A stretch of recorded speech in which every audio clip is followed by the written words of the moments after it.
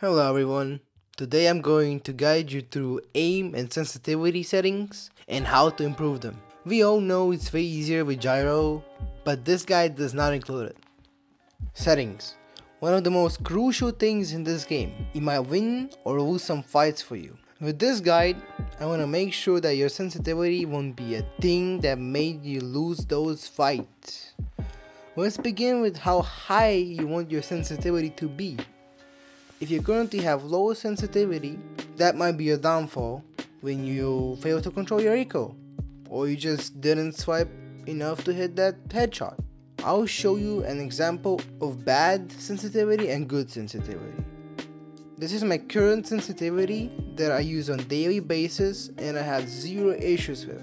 This is low sensitivity. It's gonna lose you a lot of fights for two reasons. You simply won't be fast enough to aim on the enemy or you fail to control your recoil. High sensitivity is simply superior than lower one. You don't need to make your sensitivity same as mine, but if you used low sensitivity before, you can use my sensitivity as your starting ground. Firing sensitivity. Just as important as the aiming one, it should be always higher than your aiming one to compensate for the recoil control. You should spend some time at the firing range to perfectly adjust it for your needs. Here's my settings for fire sensitivity if you need some base ground to start off from. Now that we all done with the sensitivity, let's get to aiming. There's three important things you need to master. First thing is tracking. To master this skill you need a lot of experience and movement prediction. But once you nail it down, you should be able to track your aim and your enemies and barely miss.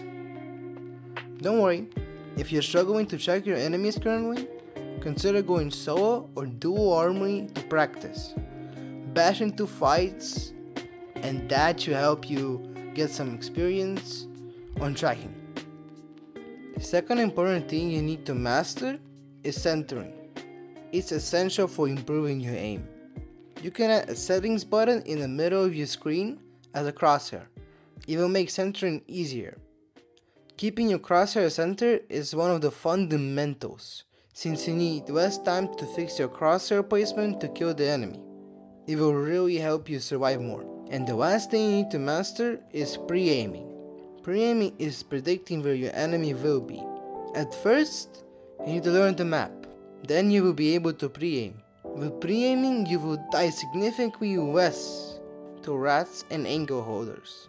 You will win way more fights when you can learn to pre-aim.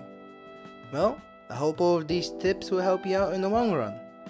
If you found them helpful, please leave a like and a sub. It really helps my channel grow.